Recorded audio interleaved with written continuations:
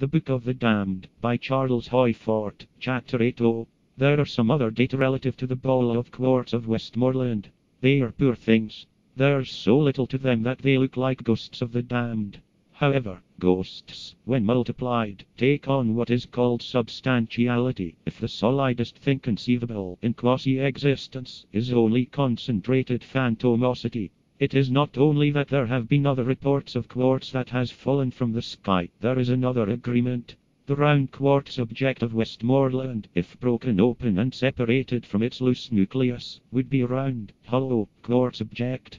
My pseudo-position is that two reports of similar extraordinary occurrences, one from England and one from Canada, are interesting. Proceedings of the Canadian Institute, Series 3, Volume 7, page 8. That, at the meeting of the Institute of December 1, 1888, one of the members, Mr. J. A. Livingston, exhibited a globular quartz body which he asserted had fallen from the sky. It had been split open. It was hollow, but the other members of the Institute decided that the object was spurious, because it was not of true meteoritic material. No date, no place mentioned. We note the suggestion that it was only a geode, which had been upon the ground in the first place.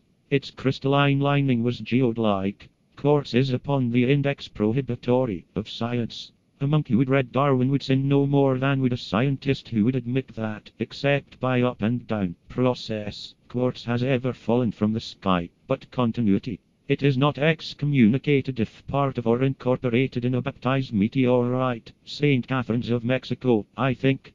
It's as Epicurean a distinction as any ever made by theologians. Fasciclists a quartz pebble, found in the Hailstone, Bibliography, Part 2, page 355. Up and down, of course. Another object of quartzite was reported to have fallen in the autumn of 1880 at Schroon Lake, New York, said in the Scientific American, volume 43, page 272, to be a fraud. It was not the usual. About the 1st of May, 1899, the newspapers published a story of a snow white meteorite that had fallen at Vincennes, Indiana. The editor of the Monthly Weather Review, Monthly Weather Review, April 1899, requested a local observer at Vincennes to investigate. The editor says that the thing was only a fragment of a quartz boulder.